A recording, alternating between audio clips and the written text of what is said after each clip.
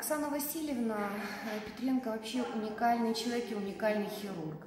Я ее знаю много лет, с тех пор, как она к нам перешла в Центр микрохирургии глаза работать.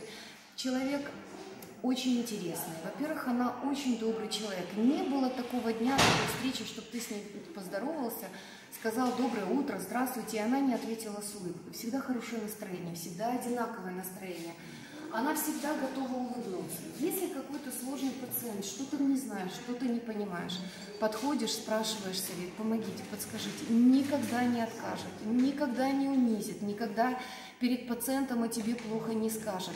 Объяснит тебе, объяснит потом пациенту, объяснит все вместе и всегда окажет помощь. И то, что она говорит, буквально впитываешь как губка каждое ее слово, каждый ее жест, каждое движение, потому что она обладает уникальными знаниями. Понятно, что она столько лет не спала ночей, столько лет она оперировала, оперировала кого угодно, когда угодно, и утром, и ночью, и вечером, и в любом состоянии.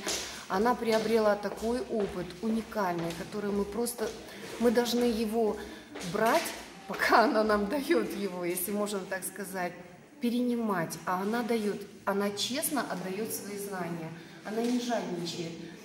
И учиться у нее помогать людям, потому что мы должны уметь помогать, выздоравливать людей. Это очень важно. Оперировать можно, а выходить, дать ему красоту, здоровье, хорошее настроение, э, счастье от того, что он был у доктора, как ни странно, вот она обладает таким талантом. Она очень приятный человек, она очень уникальная по своей харизме, по своему внутреннему содержанию. Это редкий хирург и редкий человек. У нее редкий дар. Спасибо, что она есть. Спасибо, что делится своими знаниями. Мы ее любим и на ее лекции просто бежим. Это правда. Спасибо.